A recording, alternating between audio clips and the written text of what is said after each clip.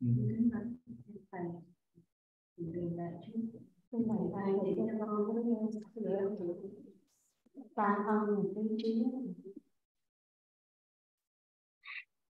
Này Ừ, ba thân ba thân Phật mà trong Pháp Bo Đàn Kinh Độc Tổ cũng nói ở Kinh Hoa Nghiêm Đức Phật cũng có nói thì đó nói lên cái dụng minh tự tánh đấy, ba thân mỗi người ai cũng có đủ hết á ừ từ mình hay cúng ngọ hay là thí thực á cúng cúng trưa cúng Phật đó thanh tịnh pháp thân ừ, là thân thứ nhất.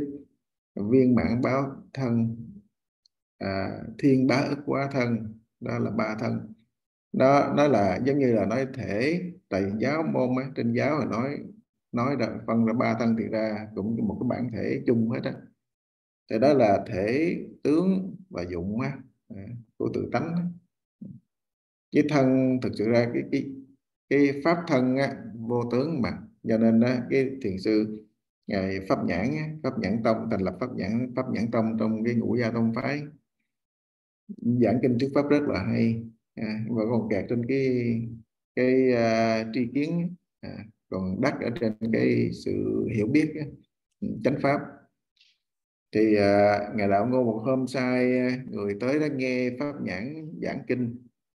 Rồi sau khi giảng kinh này hỏi à, thế nào là pháp thân? Thế nào là pháp nhãn? Thế nào là pháp thân? Pháp nhãn nghe pháp nhãn chần chờ mới nói pháp thân thì vô tướng pháp nhãn thì vô hà. Tức là không có bệnh đó à, không có bệnh à, không tướng không bệnh.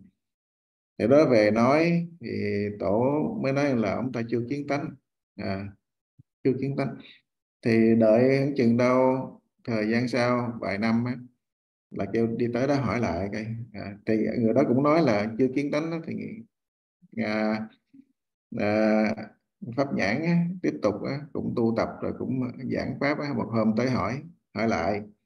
À, thế là pháp thân thế là là pháp nhãn. Mới vừa dứt thì ông đấy pháp thân vô tướng pháp nhãn vô hà cũng đâu có đáp cái khác đâu mà là đáp liền lập tức à, ứng đáp là lập tức. Lúc đó về trình lại tổ nói mừng ông ta đã khai ngộ tiến tánh. Nói về pháp thân nói về pháp nhãn mà khai ngộ tức là chứng ba thân là cái dụng à, cái à, giống như là thể à, tướng cũng có dụng cũng có rõ ràng. Thì à, cái thể tướng dụng á cũng nói về cái à, tự tánh à, cái dùng xài ra không có chứa ngại không bị cái tương đối không bị cái năng sở. Ừ. Tất cả rõ ràng.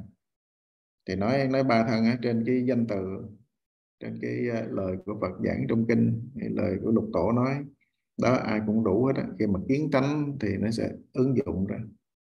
Giống như lục tổ nó ứng dụng hàng ngày mà chẳng tự biết á. Nó luôn ứng dụng á. Bây giờ mình bị che khuất bởi vô minh về ngã chấp còn bốn trí ấy, thì đó là khi mà kiến tánh thì sự thành ba thân. Kiến tánh cũng là chuyển thức thành trí ấy, tứ trí.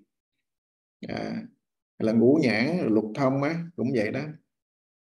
Thì tứ trí ấy, giống như bát thức chuyển thành tứ trí thì ngũ thức á, thành biến thành thành sở tác trí thành sở tác trí. Cái à, để bát thức á, thì gọi là đại viên cảnh trí còn đệ lục á, tức là thức thứ sáu á, lục thức thì gọi là diệu quan sát trí. Đối với lại thức thứ bảy gọi là bình đẳng tánh trí tại vì cái thức phân biệt á nó không bình đẳng mọi cái trên pháp trên thế gian cái gì cũng không bình đẳng cho nên nó thành là thức. Khi mà thành ra không phân biệt á bình đẳng tánh trí. Thức thứ sáu diệu quan sát trí nó biết hết phân biệt hết rõ ràng hết như cái thực tế của nó còn bây giờ mình bị cái cái cái trước tưởng á, cho nên qua cái cái cái nhận thức phân biệt đều là dính với vô minh, dính với ngã chấp, dính với tương đối. Cho nên nó là ứng dụng hàng ngày mà chẳng tự biết. Dính lên đó rồi lấy cái đó cho là cái biết của mình thôi đó. Có ngã chấp á. Nên nó gọi là cái cái trước tưởng.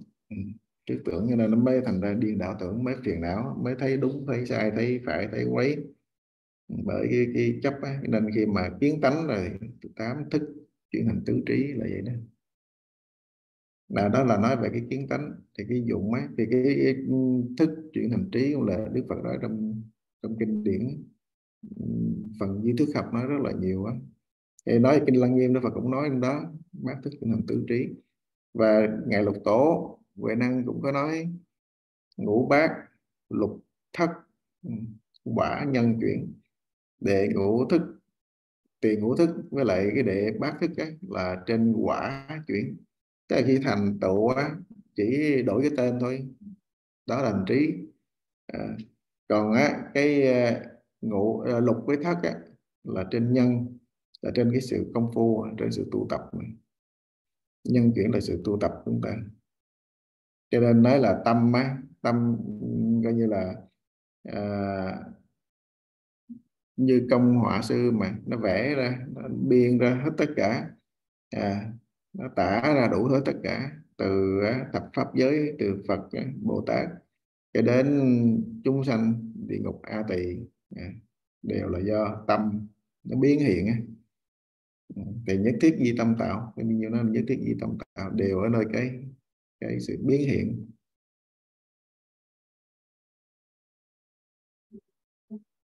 Ừ.